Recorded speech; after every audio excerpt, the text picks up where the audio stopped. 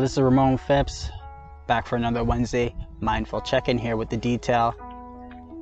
Stop running away from your accountability.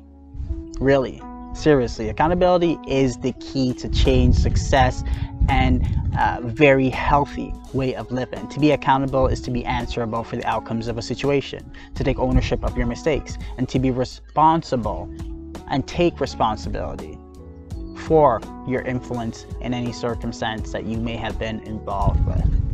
Now, to be accountable is something that means that you are being brave, you are being courageous, you are being self-respecting, you are being assertive, you are being here, and you are being clear with your overall responses to other individuals and the world around you. Because a liar, an immature mind, will continue to point fingers, make excuses, blame other individuals. But somebody who's accountable will only look at themselves and their own influence in the situation and ask himself, what could I have done differently in order to reach a better outcome? Let's take one small example. You're in school and you're doing a group project with some people and these people in themselves again with group dynamics you can always expect that there will be a slacker. There will be somebody who maybe is much of a pushover. There will be people who may be pulling their weight. There'll be neutral members there'll be leaders and everything of the sort. Let's just say in this group project things didn't turn out well. Some people didn't pull their weight and we weren't able to get the mark that we wanted on this group assignment where does your accountability come into play there? Well, were you the person who didn't pull your weight? I mean, are you going to make excuses? Are you going to say, oh, I had too much happening at home. Uh, my pet had to go to the vet because that's bullshit. Now you just cost four or five other people their particular mark, which can affect their life. No one cares about your excuses. That's the reality of the situation in the world. People are more so self-interested. And if that's the case, then no one wants to hear your excuses. Are you that person who was more of a pusher, pushover in that group? Did you take on a lot of the work and now you were stressed and were you responsible for this low mark? Because in all honesty, the only thing that you should have been responsible for was making sure that there was an equal distribution of work instead of allowing people to trample all over you. And then you're going to go ahead and what? Blame other individuals for, you know, not picking up their side of things when we should have been able to assert ourselves in that group dynamic. What about that leader?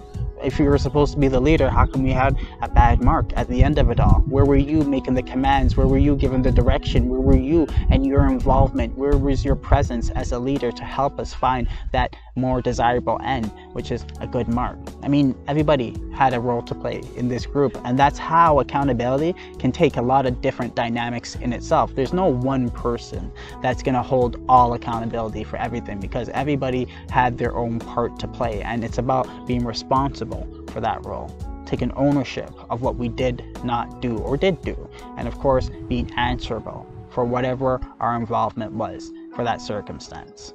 To be accountable is the greatest thing that you could ever do in your life. It develops strength, toughness, courage, a great mindset of true clarity and conviction in who you are. You see, people who lack self-awareness are not accountable. They run away. People do, that allow their self-esteem concerns to overwhelm them, they run away from accountability. People who may have trouble coping with emotions run away from accountability. People who are trapped in the cycle of addiction run away from accountability. There are so much people who allow their ego to overwhelm them and guide their life. They run away from accountability. And it's so childish.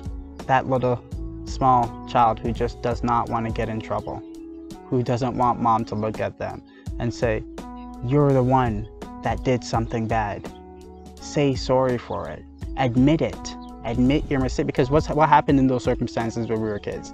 We felt so much fear when we had to be accountable. And that fear, believe it or not, it gets trapped in your mind like a memory and that becomes your instinctual response to it. But you see, it doesn't help our relationship dynamics with the world around us and the people that we involve ourselves in. It really does not create any health, any prosperity, any foundations of strength. And you know a relationship that lacks accountability because everybody in that relationship is always pointing fingers at each other. Everybody in that relationship is more quick to run away than to talk out a situation or conflict. People in that relationship are fearful, anxious, and they allow that to be the main emotional dynamic of that relationship.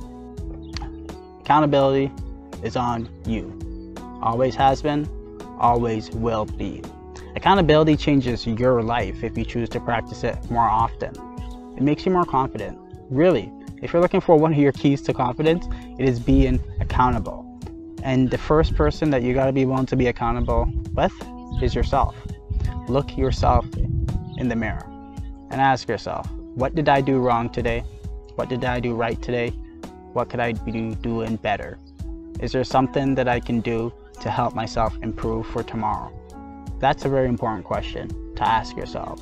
Because if your intention is to stay stagnated until tomorrow and the day after that and the day after that, then you have quite the perspective on how you should be living because I'm also sure that you might always always have this side mentality or fantasy that you want more out of life, that you want to see yourself achieve more, that you want to see yourself do more. So I mean, that mentality requires you to have that accountability in order for you to see where you have not met your goals to reach that goal in your mind that may be more long term than than close but even so that's something that you can achieve. But right now, I promise you, you're running away from it if you're not being accountable. This has been the detail. Ramon Phipps. Stay mindful.